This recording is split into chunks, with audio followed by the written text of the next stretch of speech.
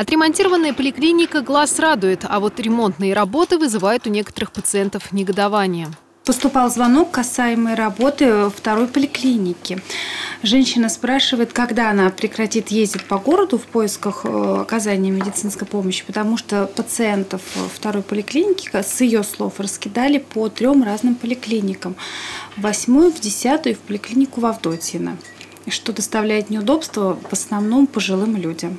Женщину волновало, когда ремонт второй поликлиники будет завершен, дошел до нее слух, что денег на работу не хватает. Этот вопрос мы задали Департаменту здравоохранения. Там нам пояснили, в прошлом году по программе модернизации первичного звена здравоохранения на капитальный ремонт поликлиники выделено почти 72 миллиона рублей из федерального бюджета.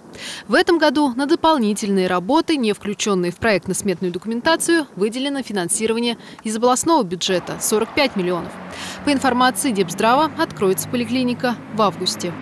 Капитальный ремонт 11-й поликлиники планировали завершить в прошлом году. Работы еще ведутся.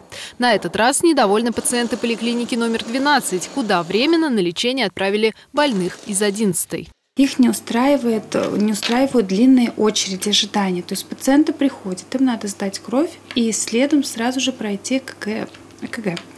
Но дело в том, что и на кровь, и на ЭКГ Очередь очень большая, до 50 человек. Как нам ответили в Департаменте здравоохранения, 11-ю поликлинику откроют в мае. Дарья Костина, Григорий Мартьянов, телекомпания «Барс».